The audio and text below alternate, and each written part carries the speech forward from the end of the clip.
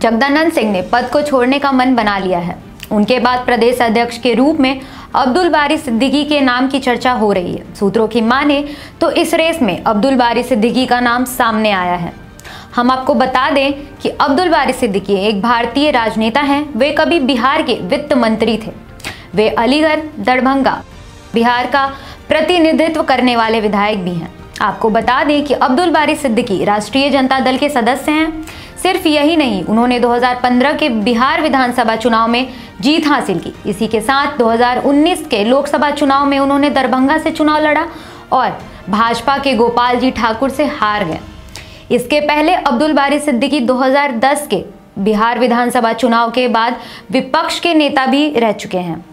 जब जेडीयू और भाजपा के बीच विभाजन हुआ, उसके बाद उन्होंने सरकार छोड़ दी और आधिकारिक रूप से विपक्ष बन गए। अब्दुल बारी सिद्दीकी को सितंबर 2015 में एसोसिएशन के पूर्व अध्यक्ष विनोद कुमार को हराया उन्होंने, जिसके बाद उनको बिहार क्रिकेट एसोसिएशन का अध्यक्ष चुना गया।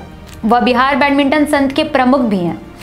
उन्हें लालू प्रसाद यादव का करीबी माना जाता है। वे कर्पूरी ठाकुर सरकार में मंत्री भी रह चुके हैं। अब वे लालू के सबसे भरोसेमंद लोगों में गिने जाते हैं। आपको बताते चले कि अब्दुल बारिस सिद्दीकी बिहार की राजनीति में बड़े नामों में आते हैं। उन्होंने कभी लोकसभा चुनाव तो नहीं जीता, परंतु उन्होंने सात बार बिहार विधानसभा चुनाव जीता। साथ ही उन्होंने अपने राजनीति दौर में 80 के दशक से अभी तक अलग अलग सरकार में मंत्री पद को बखूबी निभाया है। अब बात करें उनकी राजनीति के सफ़र की तो उन्होंने अपना राजनीति सफ़र जयप्रकाश नारायण के सानिध्य में शुरू किया था। कहा जाता है कि वे जयप्रकाश नारायण के सबसे प्रिय लोगों में से एक थे। उन्होंने अपने चुनावी दौर साल 1977 में जनता पार्टी के उम्मीदवार के तौर पर शुरू की। वे दरभंगा की बहेड़ा सीट से विधानसभा चुनाव भी लड़ चुके हैं, जहाँ उन्होंने कांग्रेस के हरिहर नाथ मिश्र को मात दी थी, जिसके बाद सिद्दीकी को लगातार जीत मिलती गई। फिर उन्होंने 2010 में आरजेडी में नेता प्रतिपक्ष के रूप में पद को संभाला।